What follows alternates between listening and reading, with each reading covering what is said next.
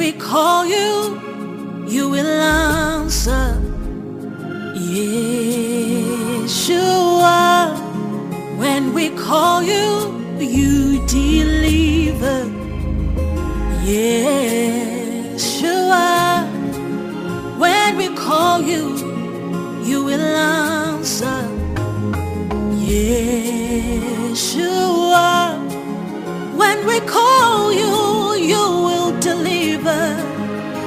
There's no name, no name greater than yours.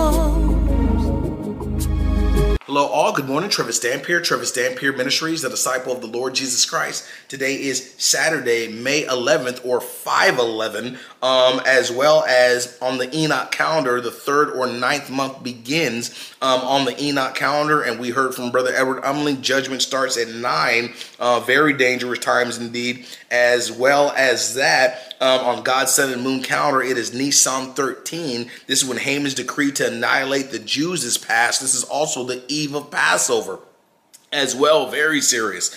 Um, 33rd day from the April 8th eclipse um, as well, um, which 33 aligns with the Lord and his age um, before his death on Calvary and other things related to him.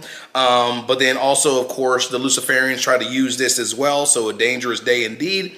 And then yesterday into today was the 1335th day from the Abraham Accords as we saw the UN passed this resolution to get Palestine to be a member of the UN state, uh, uh excuse me, of the UN Assembly. So very, very important that is uh, that this what we just saw happen is going to lead into the two-state solution. We're going to talk about that today. Um, we will talk about um, China and its move moving around Europe, um, getting agreements with Hungary, Serbia, and of course France. Um, and we know that these things are going to lead into the petrodollar to be slashed once the Middle East does these agreements with the oil. So things are moving and we're waiting for this Taiwan invasion. We'll talk about these things today.